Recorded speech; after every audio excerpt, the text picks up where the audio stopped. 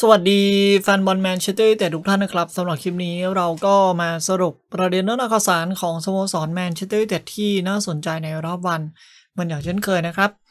ก่อนที่จะไปข้อมูลกันแบบเต็มครับ ขอบคุณเว็บไซต์ที่น่าเชื่อถือในขณะนี้ครับ ถ้าใครสนใจก็สามารถ add ID LINE ไปที่ Spot Pro กันได้เลยนะครับ โอเคมาเริ่มกันที่เกี่ยวกับในเรื่องของหลังเกมนะครับ คลิปนี้จะเป็นหลังเกมโดยตรงนะครับ ก็เป็นคู่ระหว่าง แมนเชสเตอร์แต่เรานะครับ พบกับโรม่าในศึกยูโรปาลีกนะครับ ซึ่งผลออกมาแมนยูเอาชนะได้ 6 ประตูต่อ 2 ด้วยกันนะครับนะยิงแบบถล่มทลายแล้วก็ถือว่าเป็นเกมที่มันเอามากๆด้วยนะครับ ซึ่งเกมวันนี้แมนยูมีการจัด 11 ตัวจริงอย่างไรนะครับ ก็ส่วนใหญ่มาชุดเดิมนะครับก็คือ มีการเปลี่ยนแปลงก็คือเดคิอากลับมาเป็นตัวจริงนะครับ นอกนั้นก็เป็นตัวจริงตามปกตินะครับ ไม่มีเมสันกรีนบูธครับ ให้แรดฟอร์ดลงเล่นเป็นตัวจริงทางฝั่งขวานะครับ นี่คือตัวจริงที่เกิดขึ้น ซึ่งผมไม่ต้องบอกรายชื่อ ทุกคนก็น่าจะพูดคุยหรือว่าเดากันได้อยู่แล้วว่า โอเล่น่าจะมาอย่างไรตั้งแต่ก่อน เริ่มเกมแล้วนะครับ ซึ่งคนทำประตูเนี่ยนะครับมีใครทำประตูได้บ้างนะครับ เดี๋ยวเรามาว่ากันเกี่ยวกับไทม์ไลน์ที่เกิดขึ้นนะครับ มาเริ่มกันที่จังหวะแรกครับ หรือว่าประตูแรกครับ ก็แมนยูมาขึ้นนำได้เร็วนะครับ นาทีที่ 10 นะฮะ จากการที่ดันขึ้นมาจากฝั่งซ้ายของลุคชอว์ครับ ลุคชอว์ก็จ่ายให้กับป็อกบานะฮะป็อกบาเนี่ยใช้ความสามารถเฉพาะตัวครับแหวกผู้เล่นของทางโรม่าไป แล้วก็มีการตัดให้กับทางเอดินสันคาวานี่คาวานี่แปะเร็วให้กับบรูโน่ครับที่หลุดเข้าไปแล้วนะครับบรูโน่ก็ยิงได้สวยด้วยครับชิปข้ามตัว เปาโรเปสเข้าไป ซึ่งเป็นผู้สาประตูของทางโรม่านั่นแหละนะครับ ถือว่าเป็นการเข้าทำแบบสวยสดงดงามนะครับ นี่คือประตูแรกที่เกิดขึ้นนะครับ แล้วก็ประตูที่ 2 ที่เกิดขึ้นในเกมวันนี้ครับ ก็เป็นฝั่งโรม่าที่ได้กันไปนะครับ เป็นประตูตีเสมอนะครับ คือแมนยูยิงในช่วงนาทีที่ 10 นะครับ ยิงได้ไม่นานโรม่าก็มาได้จุดโทษจากจังหวะที่ ป็อกบาเนี่ยไป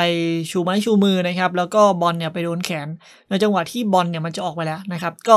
คือความตั้งใจของป็อกบาเนี่ยก็คือ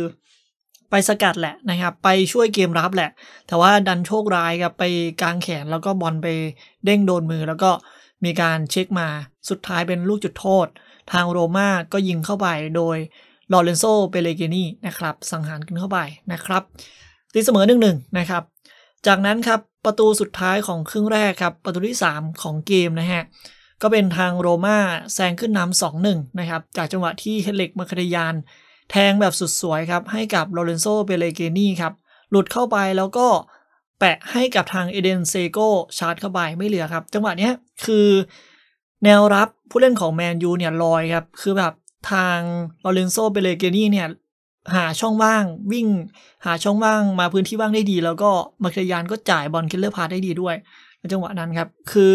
จังหวะนี้โรม่าทำได้ดีมากๆนะครับ ก็ให้คำชมเลยนะครับ ซึ่งมีความผิดพลาดของแมนยูชัดเจนนะครับผู้เล่นของแมนยูชัดเจนนะฮะซึ่งภาพรวมเกี่ยวกับครึ่งแรกเนี่ยนะฮะก็หลังจากที่เราได้ประตูขึ้นนำในนาทีที่ 10ครับขึ้นนำเร็วเนี่ยนะฮะเราก็พยายามที่จะเอาประตูต่อเนื่องนะนะครับ แต่ว่า สุดท้ายเราก็มาเสียประตูเร็วอีกนั่นแหละนะครับ แล้วก็หลังจากนั้นเนี่ยความผิดพลาดมันก็เริ่มมีครับ กองกลางก็ขาดความเฉียบคมในการผ่านบอลนะครับ ไม่ละเอียดมากพอนะครับในช่วงครึ่งแรกนะนะครับ แล้วก็พอขึ้นเกมรุกนะครับ ก็ไม่มีความเฉียบคมในพื้นที่สุดท้ายเช่นเดียวกันด้วยนะครับ ก็มีปัญหาเลยครับ หลังจากที่โดนตีเสมอหรือว่าเรายิงขึ้นนำในช่วงแรกๆของครึ่งแรก ซึ่งพอเริ่มครึ่งหลังครับแมนยูเนี่ยมารวบทีเดียวเลยครับ ซึ่งครึ่งหลังในนาทีที่ 48 ครับ ทางแมนเชสเตอร์เต็ดเนี่ยก็มาตีเสมอได้ 2 ประตูต่อ 2 นะครับ จากจังหวะที่ป็อกบาคาวานี่แล้วก็บรูโน่เนี่ยเล่นด้วยกันอีกแล้วนะครับ สุดท้ายก็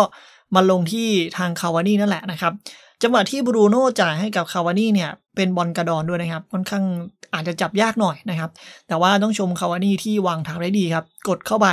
เต็มข้อนะครับแบบสุดสวยเลยครับ เป็นประตูตีเสมอ 2-2 นะครับ แล้วก็ประตูต่อมาครับ เกิดขึ้นในนาทีที่ 64 นะครับ เป็นแมนยูเนี่ยแซงขึ้นนำโรม่า3-2 นะครับ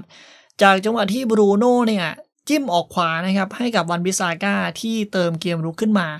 แล้วก็วันบิซาก้ายิงเข้าไป แต่ว่าผู้สัประตูเนี่ยปัดมาเข้าทางคาวานี่แล้วก็ซ้ำเข้าไปทำให้แมนยูขึ้นนำ3-2 นะครับ แล้วก็ยังไม่พอครับ ต่อมาครับ ทางคริสสมอลลิงเด็กเก่าของทางแมนยูเนี่ยดันไปทำฟาวล์ ทางเอดินสันคาวานี่ครับ ซึ่งจริงๆเนี่ยคาวานี่ก็ไม่มีมุมยิงอยู่แล้วแหละนะครับนะถึงแม้ว่าจะยิงโดนก็ตามนะ ผมคิดว่านะครับแต่ว่าพอมาเช็คดูเนี่ยก็คือ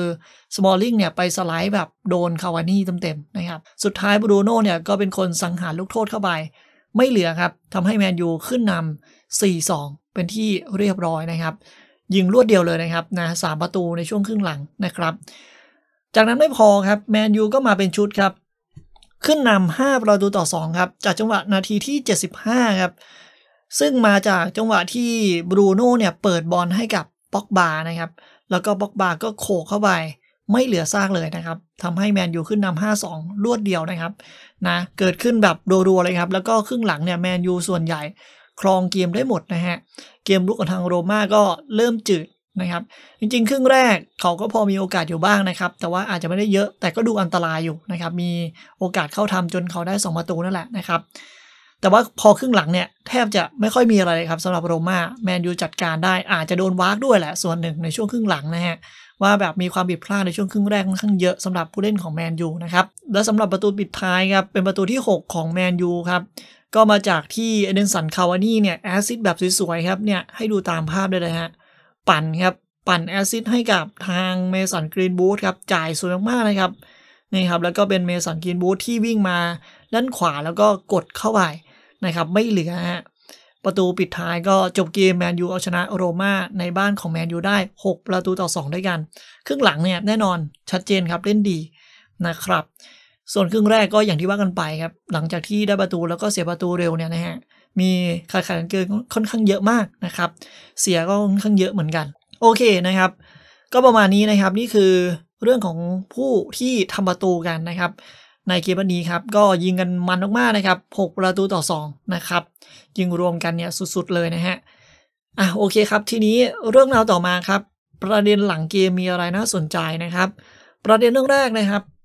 เรื่องแรกก็ต้องชมไปที่บรูโน่เฟอร์นันเดสนั่นแหละนะครับ สำหรับเกมวันนี้ก็ถือว่าโดดเด่นนะครับ ทั้งแอซิดนะครับแอซิดไป 2 นะครับแอซิดไป 2 ครั้ง แล้วก็ยิงประตูไปถึง 2 ประตูด้วยกันนะครับ ก็ถือว่ายอดเยี่ยมเป็นอย่างยิ่งครับ ประตูแรกของเกมนะครับ แล้วก็มายิงลูกโทษนะครับ แล้วก็มา assist ให้กับเอดินสันคาวานี่แล้วก็ assist ให้กับทางป็อกบานะครับถือว่าผลงานโดดเด่นนะครับ อาจจะมีบางช่วงแหละที่แบบขาดขาดเกินนะครับ เห็นอยู่ในช่วงครึ่งแรกเนี่ยนะฮะ นะบางจังหวะแบบคือจ่ายไม่ดีเลยนะครับ จ่ายไม่ละเอียดเลย ผมก็บ่นเหมือนกันนะแต่ว่าพอครึ่งหลังมา โอ้โห ฟอร์มแบบ perfect เลยนะครับ แล้วก็อีกคนหนึ่งครับ ก็คือทางเอดินสันคาวานี่นะครับ คนนี้ก็พอๆกับทางบรูโน่ครับ มีส่วนร่วมกับหลายๆประตูนะครับ ทั้งทำประตูได้ด้วย 2 ประตูนะครับ แล้วก็มีการ assist ให้กับเมสันกรีนวูดเรียกจุดโทษได้ด้วยนะครับ คือหลังจากจบเกมแน่นอนครับ แฟนบอลแฟนผีก็มีการเรียกร้องให้มีการต่อสัญญาครับ คือแบบอยากให้อยู่กับแมนยูต่อไปนะครับสำหรับเอดินสันคาวานี่ณเวลานี้นะครับ ซึ่งอีกคนหนึ่งก็ป็อกบาด้วยที่เล่นได้แบบ อาจจะไม่ได้โดดเด่นที่สุดนะครับ แต่ว่าก็มีส่วนร่วมในหลาย ๆ ประตูแล้วแหละสำหรับป็อกบานะครับ ก็ต้องได้รับคำชมอย่างเช่น ประตูที่เราได้เนี่ยนะครับ คน assist ถึงแม้ว่าอาจจะเป็นเอดินสันคาวานี่ที่ให้เครดิตการ assist แต่ จังหวะที่เอาบอลขึ้นมาก็ต้องให้เครดิตป็อกบาถูกไหมครับ ประตูแรกนะนะฮะ แล้วก็อีกหลายจังหวะที่เขามีส่วนร่วมนะครับ ถือว่าแนวรุก 3 คนเนี้ยโดดเด่นนะครับ แต่มันก็น่าเสียดายครับแรดฟอร์ดไม่รู้นะสำหรับเกมวันเนี้ยผมคิดว่าเอามาเล่นด้านขวาแรดฟอร์ดไม่เคยเล่นแบบโดดเด่นเลยนะนะครับโดดเด่นน้อยมากๆซึ่งส่วนใหญ่ถ้าแรดฟอร์ดไปเล่นด้านซ้ายเนี่ยโดดเด่นมากกว่านะครับ พอมาเล่นด้านขวาเนี่ยเขาวิ่งตรงอย่างเดียว ตัดเข้าใน เข้าเข้าด้านซ้ายเนี่ยน้อยครับ ตัดเข้าในนั่นแหละ น้อยมากๆนะครับ มีอยู่จังหวะหนึ่งที่ตัดเข้าในนะแต่ว่าจ่ายให้กับบรูโน่แล้วก็ไม่ได้จ่ายให้กับคาวานี่ที่ว่างกว่านะครับ จังหวะนั้นสวยอยู่นะฮะแต่ว่านอกเหนือจากนั้นก็คือวิ่งเส้นตรงทางขวาอย่างเดียวเลยนะฮะ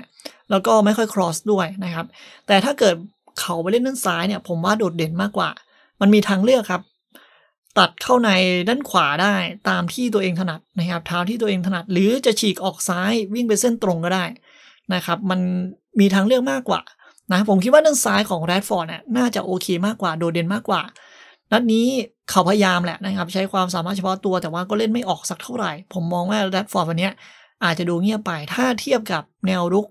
อย่างบรูโน่ป็อกบาคาวานี่นะครับถ้าเทียบกันนะนะฮะก็อาจจะเป็นในเรื่องของสภาพร่างกายที่ไม่ฟิตด้วยนะครับ ซึ่งด้านขวาผมยังมองว่าตัวเลือกด้านขวานะณเวลานี้ผมว่าเมสันกรีนวูดน่าจะดูโดดเด่นที่สุดแล้วนะครับ ถ้าจัดเรตติ้งณตอนนี้นะครับ แล้วก็ประเด็นที่4ครับ ก็คือตอนเนี้ยมันอาจจะยังไม่การันตีอะไรสักอย่างหรอกนะครับ แต่ว่าโอเล่เนี่ยอาจจะมีการลบล้างอาถรรพ์ได้นะครับ คือก่อนเกมเนี่ยมันก็มีบทวิเคราะห์มากมายแหละว่าโอเล่เนี่ยเป็นคนที่พาทีมตกรอบรองเป็นประจำนะครับ แต่ว่ารอบเนี้ยผลงานก็เห็นเห็นกันอยู่นะครับว่า คือตุนสกอร์ไว้เยอะละนะครับมันก็อาจจะลบล้างอาถรรพ์เรื่องของรอบรองได้นะครับ แล้วก็น่าจะผ่านเข้าสู่รอบชิงได้ ในรอบนี้นะครับ ในครั้งนี้นะนะฮะสุดท้ายนะครับมันการันตีในเรื่องของการเข้ารอบได้แล้วหรือยังนะครับ หรือว่าไปเข้านัดชิงได้แล้วหรือยังนะครับ ซึ่งก็ต้องบอกว่ามันยังไม่ร้อยเปอร์เซ็นต์อะยังพูดได้ไม่เต็มปากนะครับ เพราะว่า บอลลูกกลมๆครับ มันยังเหลืออีก 90 นาทีนะครับ บางทีโรม่าเกมในบ้านของเขาเลข2เนี่ยนะครับเขาอาจจะไปยิงรวดเดียวก็ได้ แมนยูอาจจะแป๊กทั้งเกมเลยก็ได้ ก็มีโอกาสเหมือนกันนะครับโลกฟุตบอลอะไรก็อื่นได้ครับคำนี้ใช้ได้จริง ๆนะครับ เพราะฉะนั้นมันยังพูดได้ไม่เต็มปาก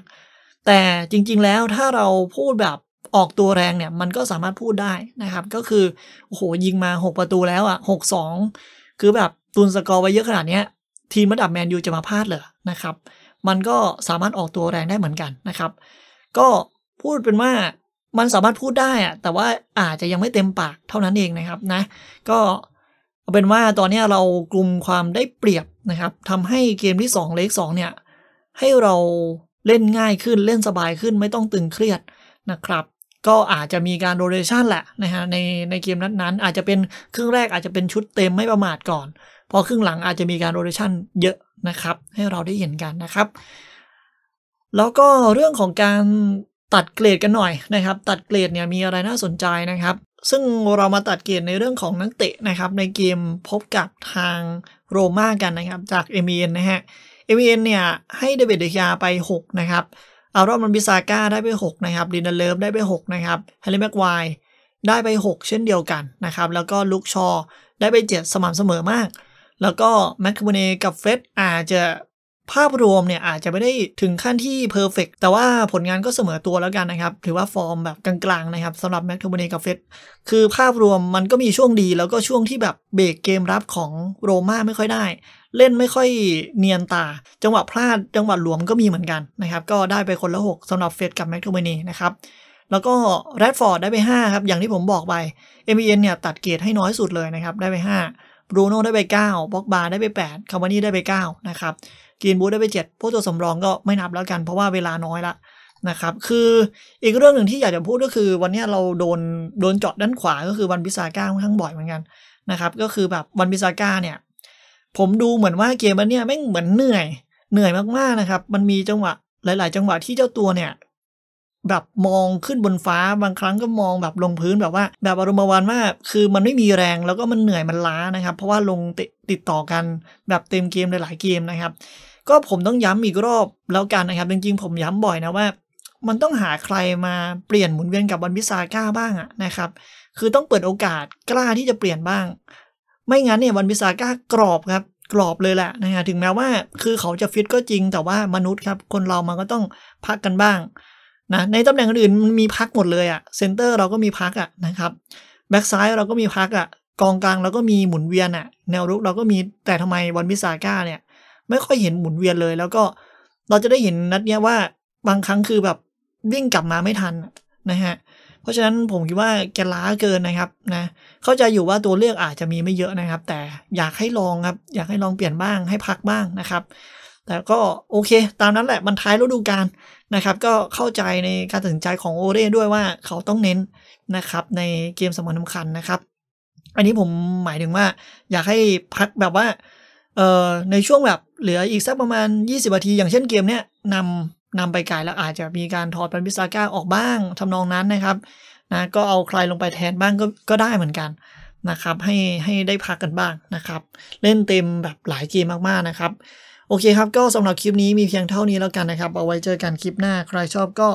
ฝากกดไลค์ กดแชร์ กดติดตามกันด้วยแล้วกันนะครับขอบคุณมากครับ แล้วเจอกันคลิปหน้านะครับ